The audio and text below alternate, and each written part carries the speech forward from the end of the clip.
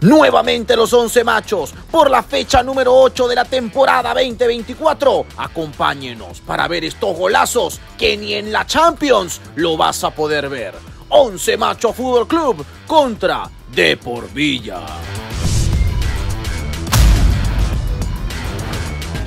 Los 11 machos calientan y Pedro Sánchez dice estas sabias palabras. A jugar. Increíble. Y parece que Franjo se equivocó de uniforme.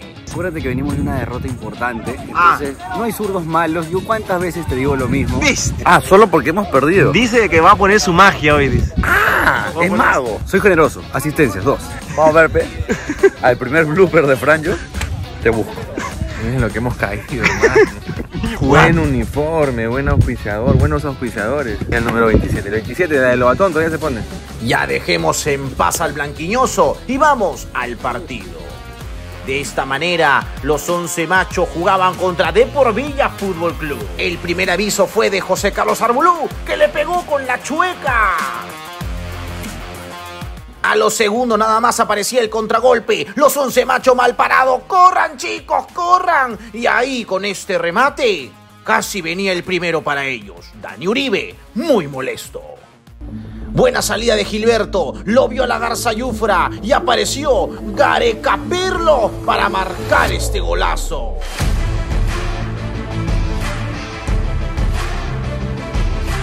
Terminaba la primera parte y los 11 machos se iban al descanso ganando por 1 a 0. Escuchemos las palabras de Víctor Hugo Dávila. Que pasa que la última jugada nos estamos desesperando. La última jugada. La tienes, la tienes tú que te hagan el favor. O sea, va- van a tener que golpearte, no tienes más recursos. En ese momento Franjo Vascovic estaba triste porque estaba en la banca. Hasta sus amigos se burlan de él. ¿Quién le ha dado uniforme? ¿Por qué le han dado uniforme Franjo? ¿Así está comentando? Sí, imagínate. Ah, bueno, qué hincha. Franjo, ¿crees que vas a entrar? No creo. Arrancaba la segunda parte, intenso como siempre. Y a los 46 minutos una mano en el área y el árbitro marca penal para los 11 machos. El patrón Uribe, el encargado, patea el penal. El segundo para los 11 machos. Inmediatamente vino la respuesta de De por Villa. Atajaba a Miki. ¡Nos salvamos! Pero no. El descuento para De por Villa. A los 59 minutos aparecía el oso Arbulú, elevó su ki, se la devuelve Luis Miguel Collantes. Ahí estaba, no sé si era el oso Arbulú o Maradona, y marcaba el tercero para los 11 machos. Ahí también aparecía con el pase Luis Miguel Collantes, el Pitbull Valdés. Nos decía el cuarto gol para los 11 machos. Pasado los 60 minutos ya estaba el bombardeo de los 11 machos. Por la derecha la Garza Yufra. En el área el sinónimo de gol. Pedro Sánchez, Black Power.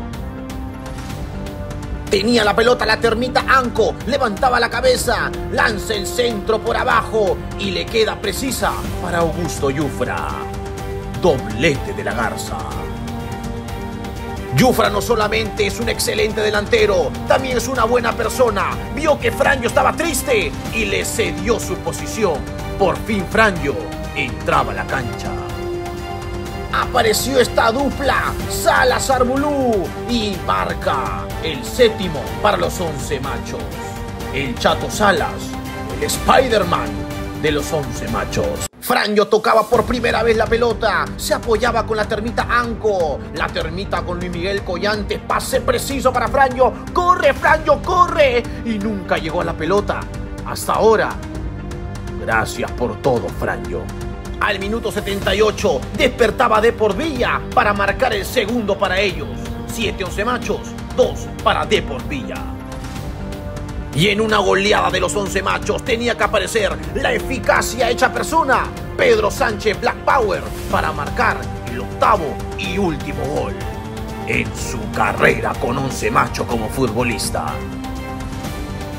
Terminó el partido, 11 machos 8, 2 para De por Villa. El equipo aficionado más grande del Perú sumaba una nueva victoria.